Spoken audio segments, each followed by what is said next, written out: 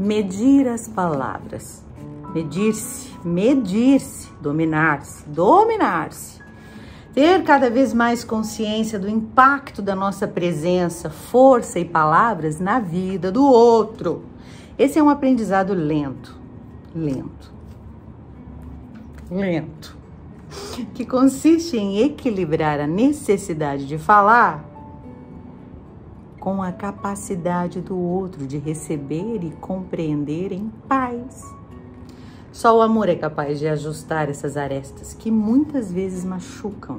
Não porque queremos, mas porque ainda somos imaturos e não nos conhecemos tão bem assim para nos aguentarmos mais no silêncio do que nas palavras.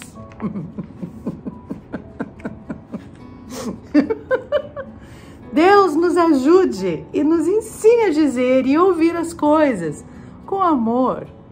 Com amor, ouvir e dizer as coisas com amor. Amor. Amor.